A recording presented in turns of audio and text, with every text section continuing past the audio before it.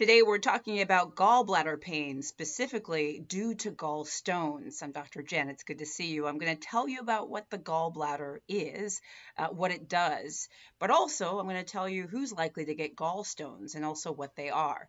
But the main reason for this video is to talk about the pain that gallstones can cause, both biliary colic, but also pain uh, secondary to an acute inflammation of the gallbladder.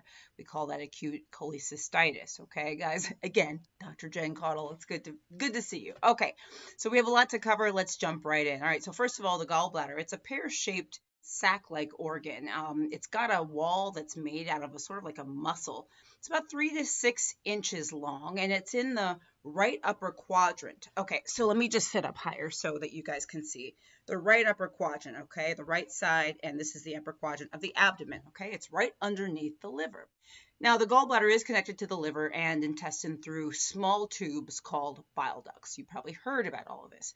Now, the main purpose of the gallbladder is really to store and concentrate bile. It's, it's like a, a green brown fluid that the liver makes. And bile is really important because it carries waste out of the liver. But we also need it to help digest and absorb fatty foods and to absorb fat soluble vitamins. If you've seen any of my videos on vitamins, I've talked about water soluble versus fat soluble. Well, ding, ding, ding this is where that comes into play. We don't exactly know why gallstones develop, but there are a number of factors that increase the risk of developing gallstones. I'll never forget, okay, like a little digression here, okay? I'll never forget when I was in anatomy class um, in med school and we were doing abdominal dissection. We got to the gallbladder, and my cadaver had the gallbladder was filled with gallstones and they were like these yellow stones they were huge and literally they are like stones like these round stones i was like oh my gosh definitely a moment i will never forget um, so again we don't know exactly why they develop but there are a number of risk factors okay so some risk factors include things like your sex. Gallstones are, are more common in women than in men, but also age is a risk factor. Okay, so the risk of gallstones actually increases with age um, and especially becomes more frequent over the age of 40 years old. Okay. Also, family history. If you have a family history of gallstones, um, you may have them as well. In fact, I have a family history of gallstones. Some of my relatives have them and have had gallbladder disease, had their gallbladders out. By the way, write in the comments. I should have said this before. Write in the comments if you've had your gallbladder out or have gallstones or biliary pain or things like that. Okay. And then there are other factors may, that may increase your risk of getting gallstones, like pregnancy, uh, the use of certain medications that contain estrogen, things like birth control pills, uh, being obese, uh, fasting, like frequent fasting, like going long periods without meals, can increase your risk. Also, rapid weight loss, okay, or like in or in those like uh, folks who have had uh, weight loss surgery. If you're not exercising, even things like diabetes can uh, increase that risk.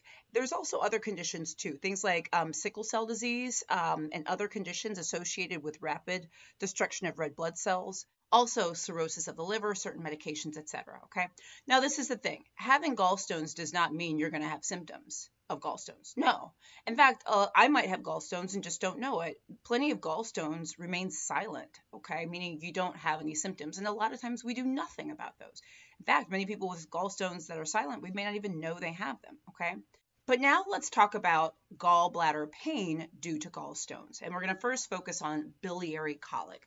This is also known as like biliary pain, gallstone pain. This is probably one of the most common like first symptoms people get of gallstones, okay? And what happens is you can get these attacks of belly pain in the right upper quadrant, because remember that's where the gallbladder is, just under the ribs, okay?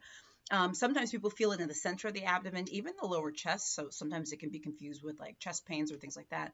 But this is the thing, you often get nausea, vomiting, and pain that might radiate to the shoulder or back the pain often has like a timing and a pattern, okay?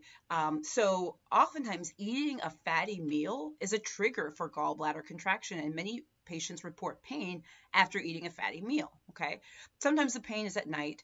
Generally, the pain lasts at least 30 minutes. It starts to sort of at least taper, you know, plateau within an hour. It starts to starts to subside, the whole attack is going to last less than six hours. Okay, so this is sort of like a gallbladder attack, biliary pain, etc. Okay, once you start getting these, the symptoms are likely to keep coming, and you may be at risk, at increased risk for complications. All right. In general, this sort of biliary colic is caused by the gallbladder contracting and forcing a stone against the gallbladder outlet or cystic duct opening, which can cause pressure in the gallbladder, and that pressure results in pain, okay? And then as the gallbladder relaxes, the stones fall back from the cystic duct and the pain slowly subsides. All right, that's sort of one type of pain that can come and go. Again, it can kind of lead someone up to acute cholecystitis, which is a complication of gallstones. Acute cholecystitis is the most common complication of gallstones. This is when your gallbladder is actually inflamed. That cystitis itis is inflammation.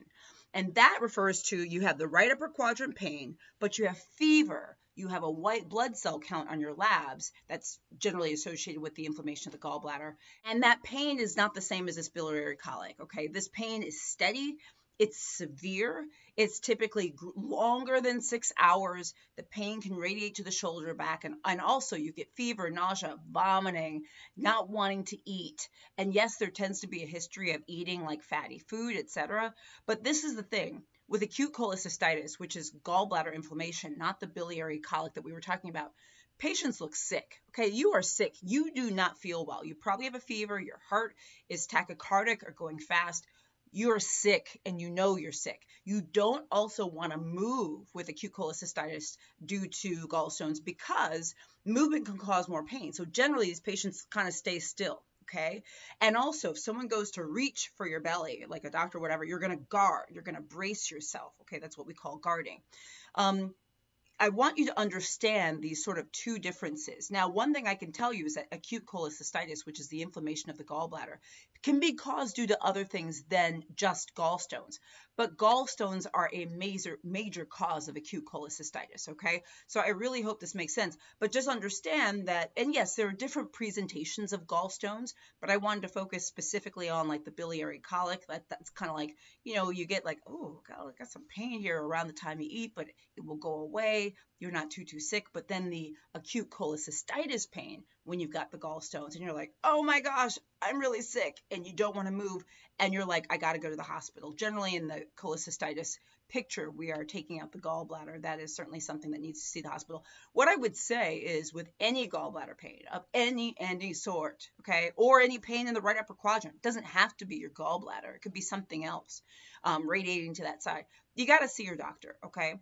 Just understand that in this right upper quadrant, we have the liver and we have the gall, uh, gallbladder and a few other things, some ducts and stuff like that. So there is a possibility for, for issues with the gallbladder and surrounding um, surrounding organs. I want you to let me know what you think about this video. Share it with someone else. I'm Dr. Jen Caudle, practicing family physician, on-air health expert, and video creator. Please um, subscribe to my channel. Please follow me on Facebook. I'm on Instagram, TikTok, LinkedIn, WhatsApp. Also, please go to my website, drjencaudle.com I'll see you there. Oh, sign up for my free health newsletter there. All right, guys.